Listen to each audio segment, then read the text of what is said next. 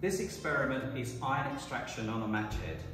In front of me I have a petri dish of water, a box of matches, a magnet, some iron 3 oxide in a watch glass and some sodium carbonate in a watch glass.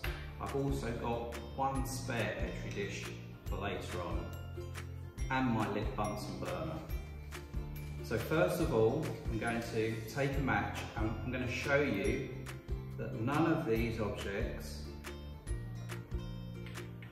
are magnetic.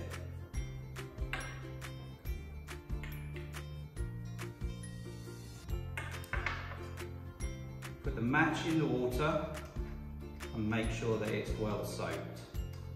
It's going to be important in a minute when you see what happens. Take the wet match, roll it in the iron oxide, and then the sodium carbonate, and then we're going to light the match.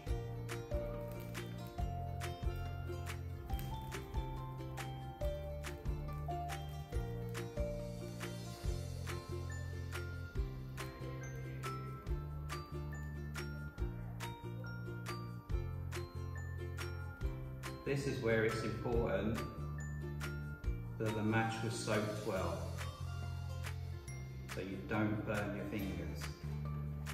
Now, we're going to let that cool and we're going to break it in our Petri dish. And we're going to use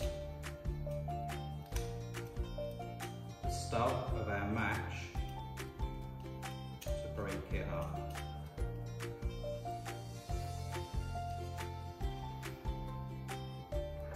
now we're going to test product of our reaction. And there you can see